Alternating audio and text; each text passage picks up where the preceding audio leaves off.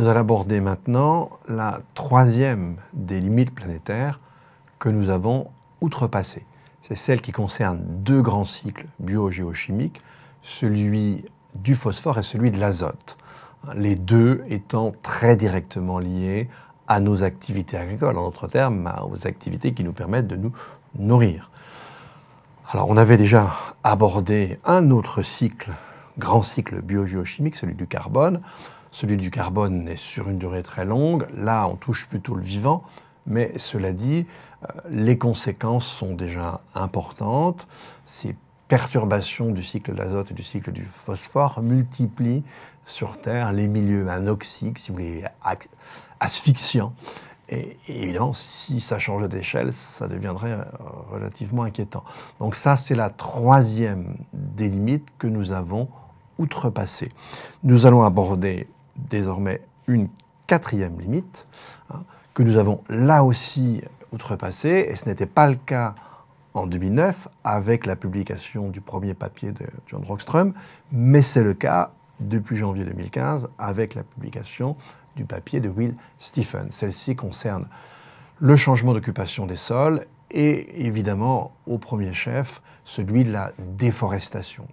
La déforestation de la forêt amazonienne, par exemple, qui était un régulateur dans euh, euh, le système du régime mondial des pluies, a une influence non négligeable sur ce régime mondial des pluies et le modifie. On est là, là encore une fois, dans une limite, un franchissement de limite qui a une portée systémique, même si elle est moins importante que, comme nous l'avons vu, celle de la biodiversité ou celle du climat. Donc ça, c'est la quatrième limite que nous avons franchie sur neuf. Maintenant, concernant les limites qui suivent, on va voir que soit nous ne les avons pas encore franchies, soit qu'on ne sait pas déterminer hein, le seuil de franchissement. Alors, concernant la consommation d'eau douce, évidemment, il y a 15 000 km3 qui sont disponibles d'eau douce pour tout le vivant.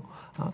Et sur ces 15 euh, 000, il faudrait que les activités humaines ne dépassent pas les 4 000 km3. Pour le moment, on en est à 2600, tout simplement parce qu'il faut que le reste euh, du vivant et, la végétation euh, puissent vivre.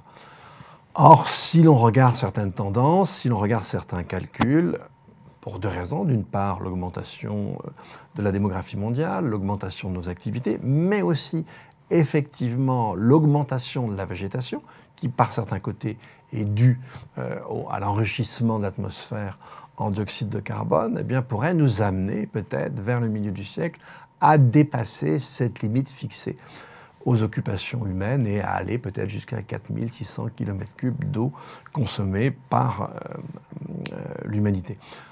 Alors ça, c'est donc euh, euh, la, dernière limite qu'on vient d'envisager. Encore une fois, nous ne l'avons pas dépassée, mais on peut imaginer qu'il nous serait possible de la dépasser euh, dans les décennies qui viennent. Autre limite, cette fois-ci celle-ci, on n'a pas la possibilité de la quantifier. Alors dans le papier de Rockström, on parlait de pollution chimique, d'ailleurs on vous a laissé l'expression pollution chimique, on parle plutôt aujourd'hui, et dans le papier de Stephen, celui de 2015 et non de 2009, on parle plutôt d'introduction de matériaux étrangers, parce qu'il n'y a pas que les pollutions chimiques, on peut avoir des métaux lourds, on peut avoir euh, aussi euh, d'autres choses, par exemple la radioactivité, par exemple les nanoparticules, etc. On introduit dans le système biosphère, équivalent du système Terre, c'est notre façon de le nommer, des éléments étrangers dont on sait qu'ils peuvent perturber, mais on n'arrive pas, comme je vous le disais, à fixer le seuil à partir duquel ces perturbations commenceraient à avoir un effet global, dangereux, faisant basculer à leur tour aussi le système Terre. Alors, autre limite encore, celle de la destruction de l'ozone stratosphérique. Là, c'est un des premiers soucis euh, de dégradation globale que nous ayons eu à, connaître hein, dès les années, les années 80. Il y a eu le protocole de Montréal, donc on a réduit vraiment nos émissions. Et là, c'est le seul domaine par rapport auquel, évidemment, nous n'avons aussi pas dépassé la limite, mais on a même régressé, régressé dans nos dégradations, dans nos destructions. C'est sur les neuf limites, c'est la seule qu'on puisse considérer avec un petit peu plus euh, d'optimisme. Alors on passe à, la suivante. Là aussi, hein, les émissions d'aérosols dans l'atmosphère, alors elles peuvent être d'origine industrielle, elles peuvent être d'origine agricole. Hein. du coup, on, forme des, petits aérosols qui vont en fait renvoyer une partie de l'énergie euh, solaire dans l'espace, réduire euh, la, photosynthèse de façon très modérée, mais quand même euh, la réduire. Aujourd'hui, c'est plutôt ce qu'on appelle encore, même si c'est plus très approprié, le Sud, euh, qui est à l'origine de l'essentiel des émissions d'aérosols dans l'atmosphère. Et comme ces aérosols ont un effet nuisible sur la santé humaine, pas absurde de penser qu'on va réussir à les réduire dans les décennies qui viennent, mais du coup, on, on induira aussi une petite augmentation euh, de l'effet de serre et du réchauffement de la planète. Enfin, dernière euh, limite, celle-ci que nous n'avons euh, pas encore franchie, hein, c'est celle qui concerne l'acidification des océans. L'acidification des océans, c'est tout simplement une conséquence directe du changement climatique et de la cause du changement climatique, le changement de la composition chimique euh, de l'atmosphère. Hein. Le, dioxyde de carbone, on l'appelait autrefois l'acide un acide carbonique, donc effectivement c'est acide, ça change très légèrement le pH des océans et effectivement si on continuait sur cette lancée, on, finirait par intensifier ce qu'on a commencé à faire, c'est-à-dire fragiliser certains fondements de la chaîne trophique marine, puisque on, vient là empêcher les organismes qui, euh, qui se structurent euh, de pouvoir, le, de pouvoir le, faire.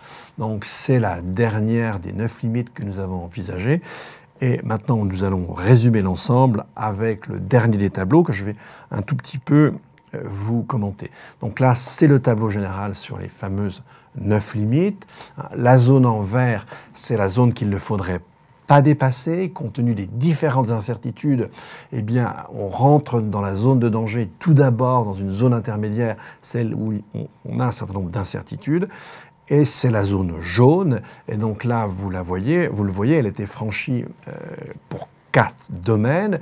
Et puis même pour certains de ces domaines, par exemple les perturbations des cycles de l'azote et du phosphore, par exemple pour l'azote, eh bien le cycle de l'azote est aujourd'hui deux fois et demi ce qu'il serait sans les activités humaines. Alors que, par exemple, en revanche, si l'on regarde le dioxyde de carbone, on a fait, on a fait que, entre guillemets, euh, qu'ajouter 40% de dioxyde de carbone de plus dans l'atmosphère. Donc on n'est pas dans les mêmes ordres de grandeur.